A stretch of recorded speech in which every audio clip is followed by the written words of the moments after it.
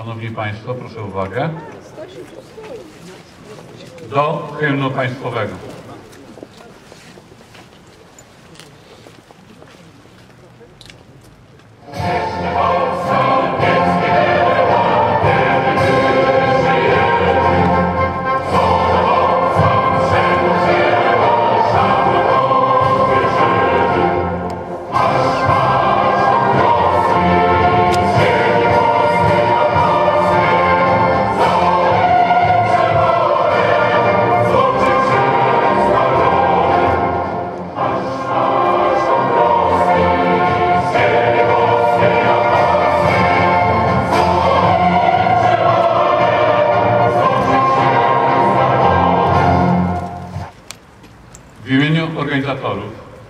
Części gminnych obchodów 99.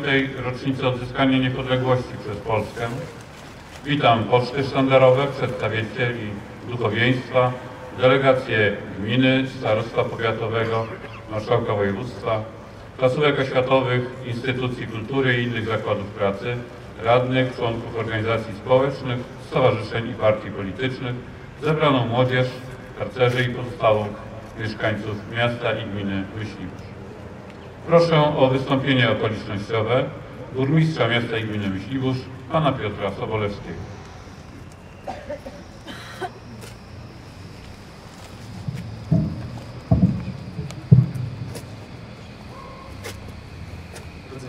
Drodzy myślibożanie, kochane dzieci, droga młodzieży, wszyscy szanowni państwo.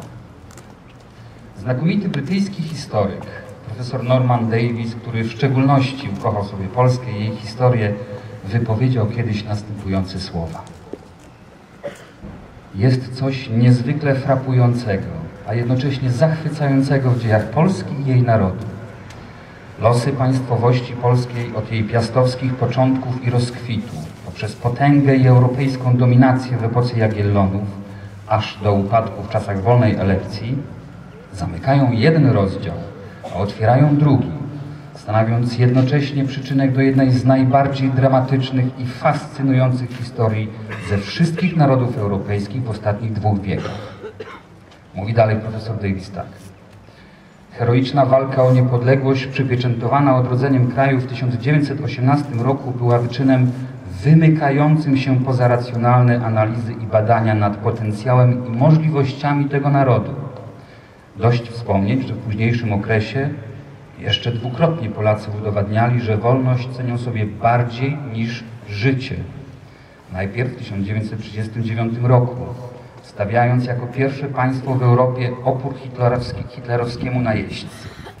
Następnie zaś, przeciwstawiając się komunistycznej nawałnicy i przynosząc w roku 1989 prawdziwą i faktyczną niepodległość sobie, jak i sąsiadom z zachodu i wschodu.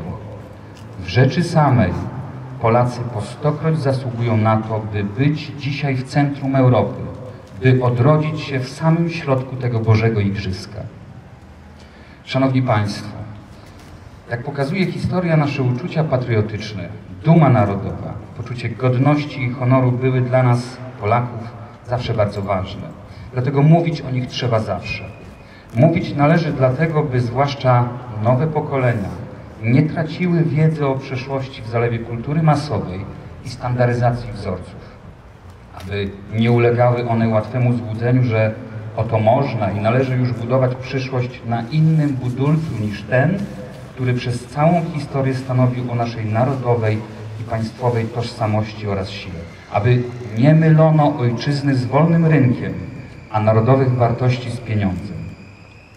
Mówił o tym dzisiaj ksiądz kanonik Krzysztof Bokniak, że tendencji lekceważenia przeszłości konsekwentnie przeciwstawiali się wielcy hierarchowie Kościoła w Polsce, święty Jan Paweł II oraz prymas tysiąclecia kardynał Stefan Wyszyński. Ten ostatni mówił do tłumów warszawiaków podczas obchodów tysiąclecia chrztu Polski tak. Polska ma wspaniałą przeszłość, ma swoje dzieje, ma kulturę, ma literaturę i sztukę. Musimy więc nieustannie nawiązywać do przeszłości. Naród, który nie może nawiązywać do przeszłości, który się nie może wypowiedzieć zgodnie z własną duchowością, Jest narodem niewolniczym. Naród, który odcina się od historii, który się jej wstydzi, który wychowuje młode pokolenie bez powiązań historycznych, jest narodem renegatów. Taki naród skazuje się dobrowolnie na śmierć, podcina korzenie własnego istnienia. Niezwykle zatem cieszy mnie fakt, że są dzisiaj wśród nas reprezentanci młodego pokolenia, harcerze, radni Młodzieżowej Rady Miejskiej w Myśliborzu, którzy kilka dni temu złożyli ślubowanie i rozpoczęli czwartą już kadencję młodzieżowego samorządu. Ich obecność świadczy o tym, że polskie symbole narodowe, nasze godło, barwy i hymn stanowiące o odrębności narodu, a jednocześnie o przynależności do niego, również przez młode pokolenie otaczane są szczególnym szacunkiem i poważaniem. Tak właśnie powinno być. Ale nie wolno nam też zapominać o naszej małej, lokalnej historii, która buduje naszą tożsamość nie tylko jako wspólnoty parafialnej czy kościelnej, ale również jako wspólnoty samorządowej, jako miasta, które zostało wskazane przez samego Chrystusa do odegrania ważnej roli w Bożym planie. Przypomnę zatem, że w przyszłym roku obchodzić będziemy okrągłą 130. rocznicę urodzin błogosławionego księdza Michała Sopoćki oraz 80. rocznicę śmierci świętej Faustyny Kowalskiej. To właśnie siostra Faustyna opisała nasze miasto w swoich proroczych wizjach. Jako to miasto, w którym powstanie nowe zgromadzenie, zaś jego misją będzie przekazywanie światu orędzia o Bożym miłosierdziu. Przez co miejsce to, przez co to miasto będzie mogło liczyć na szczególne łaski. Ksiądz Michał Sopoczko już podczas pierwszej wizyty w Myśliborzu, zaraz po wojnie, ze zdumieniem odkrył, że mały kościółek, jak pisała w swoim dzienniczku święta, wraz z całym otoczeniem malowniczego jeziora, dokładnie odpowiada opisowi pozostawionemu przez siostrę Faustynę. Błogosławiony ksiądz Michał Sopoczko pisał tak. Udałem się zatem zaraz po przyjeździe do Myśliborza do tego niewielkiego kościoła i ku ogromnemu zdziwieniu spostrzegłem w ścianie ołtarzowej okno z nieco uszkodzonym witrażem przedstawiającym konanie Pana Jezusa na krzyżu, u podnóża którego rosły dzikie róże. Przyglądałem się mu z, z niewysłowioną radością i wielkim zdumieniem, albowiem siostra Faustyna mówiła mi dokładnie o takim mieście, o takim kościółku i witrażu.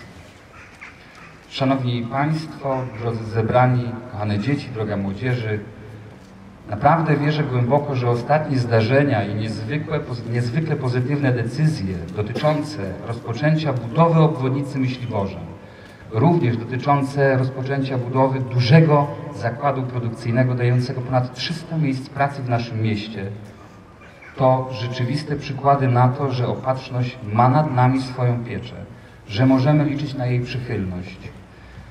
Podczas wielkich uroczystości w przyszłym roku będziemy chcieli podziękować za te błogosławieństwa, ogłaszając właśnie księdza Michała Sopoćkę patronem naszego miasta. To chciałem Państwu dzisiaj powiedzieć. Podziękować za przybycie, podziękować za obecność. Niech Pan Bóg błogosławi naszej ojczyźnie, całej ziemi myśliborskiej i wszystkim jej mieszkańcom. Dziękuję za uwagę. Dziękuję panu burmistrzowi. W imieniu marszałka województwa zachodniopomorskiego, pana y, Olgierda Gawlewicza, głos zabierze dyrektor gabinetu marszałka Arkadiusz Mazepa. Zapraszam.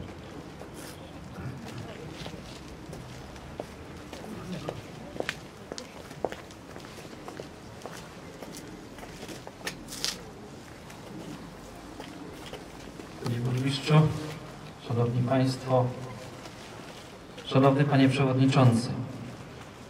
Pragnę tą drogą bardzo podziękować za zaproszenie na uroczystości związane z Narodowym Świętem Niepodległości.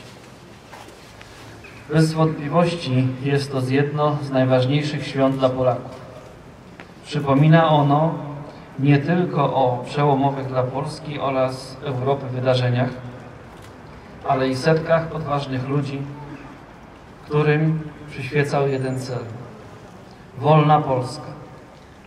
Musimy pamiętać o tych osobach, o tych, którym o ich determinacji, a także o przekonaniu o słuszności podejmowanych przez nich decyzji, dzięki którym dziś możemy cieszyć się suwerennością naszej ojczyzny. Cieszy mnie fakt, że w wydarzeniu tym uczestniczą także młodzi ludzie.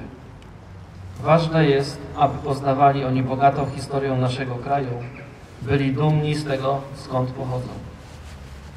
Na ręce Pana Przewodniczącego składam życzenia dobrego zdrowia oraz wszelkich pomyślności dla uczestników obchodów Dnia Niepodległości. Wszystkiego najlepszego. Marszałek Województwa Olgierd Geblewicz. Dziękuję bardzo. Dziękujemy. Proszę o wystąpienie okolicznościowe przewodniczącego Młodzieżowej Rady Miejskiej w Myśliborzu, Filipa Tymańskiego.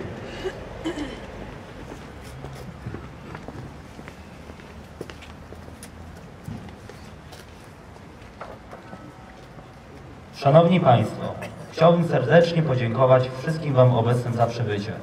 W imieniu Młodzieży Myśliborskiej dniu 99. rocznicy odzyskania niepodległości przez Polskę chciałbym uczcić wraz z Państwem pamięć tego wyjątkowego wydarzenia oraz pamięć, które okupiły to wydarzenie swoją krwią. Jak, jaką radość, a zarazem odpowiedzialność za nadchodzącą przyszłość musieli czuć nasi przodkowie, gdy stanęli na progu odzyskania suwerenności. Polska odzyskała szansę na zbudowanie niepodległego państwa liczącego się na arenie międzynarodowej.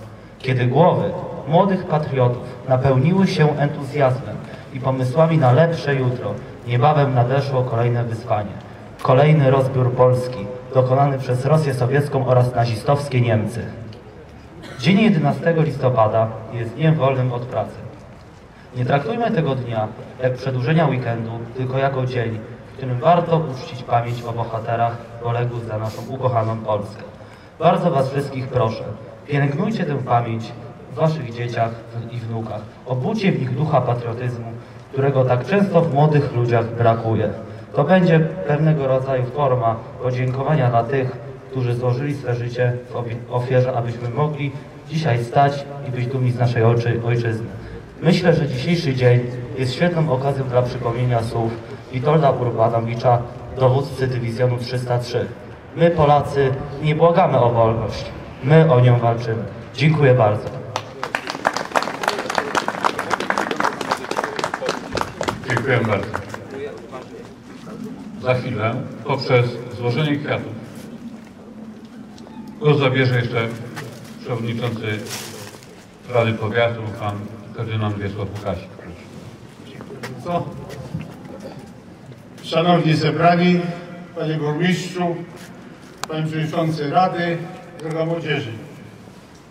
W imieniu pani starosty, zarządu powiatu, Rady Powiatu pragnę złożyć wszystkim mieszkańcom Myśliborza najserdeczniejsze życzenia z okazji 99. rocznicy odzyskania niepodległości. Jest to wyjątkowa rocznica, która jednoczy wszystkich Polaków. Ale powróćmy trochę do historii. Utraciliśmy tą narodową tożsamość w 1795 roku. Pięć pokoleń Polaków walczyło o powrót naszej ojczyzny na mapę Europy. Było powstanie kościuszkowskie, powstanie listopadowe, powstanie styczniowe, również księstwo warszawskie. Dziesiątki tysięcy Polaków na ołtarzu ojczyzny przelało krew. Krew ojczyźnie, ducha Bogu, a Matce Ziemi ciało. Gdzież nie ma, Polsko, gdzie nie ma grobów Twoich synów. Ale nadszedł rok 1914, gdzie zaborcy chwycili się w cudzysłowie za łby. I w tym czasie nasi przywódcy, mimo że się różnili ideologicznie, zjednoczyli się, by wszystkie siły skierować na odzyskanie niepodległości. Ogromne zasługi poniósł Józef Piłsudski. 5 grudnia będziemy obchodzili 150. rocznicę jego urodzin. To on dokonał zjednoczenia wszystkich przywódców i za jego mądrą polityką Polska na mapie Europy po 123 latach uzyskała swoją tożsamość, znalazła się. A potem, potem Polacy walczyli o granice i obronili Europę w 1920 roku przed nawałą bolszewicką. Wiele powiedzeń jest Piłsudskiego. Naród, który zapomina o przeszłości, o patriotyzmie, nie jest narodem. Zwyciężyć, ale spocząć na, na laurach to klęska, ale być pokonanym i nie ulec to zwycięstwo. I takim narodem była Polska, nasi przodkowie, nasi dziadowie. W imieniu Rady Powiatu, w imieniu wszystkich radnych powiatu, zarządu powiatu składam mieszkańcom Myśliworza, oczywiście i sobie, bo jestem mieszkańcem od 1946 roku. Wielu szczęśliwych, długich lat życia na ziemi myśliwskiej. Budujmy swoją przyszłość.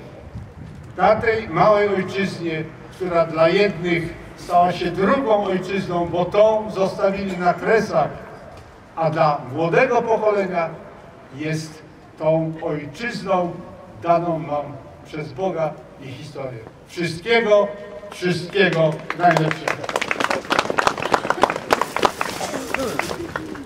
Dziękuję. Poprzez złożenie kwiatów pod pamiątkowymi głazami oddamy hołd poległym i zmarłym.